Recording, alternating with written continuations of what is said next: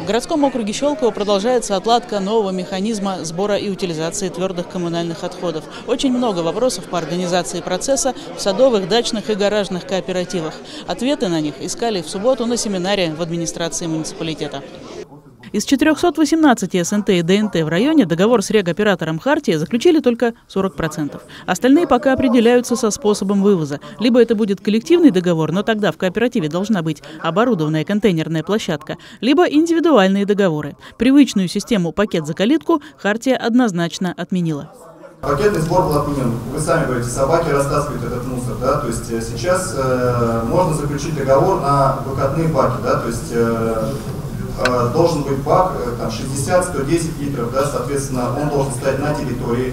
А вы его должны, ну, там, скажем так, определяем там день, да, то есть, э, если это индивидуальный договор там, с жильцом, но даже там, где договоры есть, проблемы тоже есть. То график вывоза не соблюдается, то председатели не могут получить акт сверки, чтобы оплатить услугу, рискуя попасть на штраф. Некоторые владельцы получили счет на вывоз мусора с еще пустого незастроенного участка. То вдруг начали приходить двойные начисления и на СНТ в целом, и каждому лично.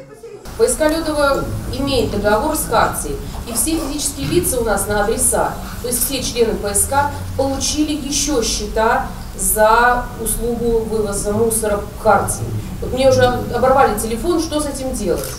Представитель рекоператора согласен, неурегулированных вопросов много. Большинство нужно решать в индивидуальном явочном порядке. Для этого Хартия открыла офис в Щелкове по адресу Первый Советский переулок, 25. Проводит приемы на территориях.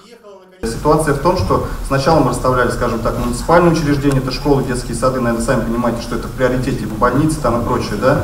А сейчас СМТ начинает сезон, соответственно, мы тоже будем выполнять свои обязательства, да, которые там на нас возложило правительство Московской области.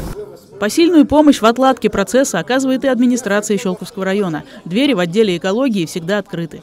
Я хочу вас попросить, и чтобы вы понимали, что эта работа и для них тоже новая для нас тоже новое. И некий переходный период, и мы вас хотим попросить время, спокойствие и вашей же помощи, чтобы вы организовали совместно с Хартией, с региональным оператором вот эту работу. Хартия признает свои ошибки, Хартия идет на контакт непосредственно с жителями, администрация для удобства жителей тоже всячески оказывает содействие, чтобы люди могли а, правильно платить а, за оказанную услугу по вывозу мусора. То, что работа с отходами рано или поздно отладится, некоторые участники семинара доказывали на примере своих СНТ. Все, договариваемся, приезжают, вывозят, возвращают наш бункер, ставим печать, подпись, все довольны, все счастливы. Вот это у нас присутствует, и я могу под этим, э, под своими словами э, подписаться. И все-таки прежде всего надо решить вопросы заключения договоров с региональным оператором. По итогам семинара председатель районного союза садоводов Анатолий Штоколов предложил составить график, по которому председатели кооперативов будут приезжать на подписание в офис Хартии, чтобы до 15 апреля эту проблему снять. Ирина Микеда, Сергей Максимов, телерадиокомпания «Щелково».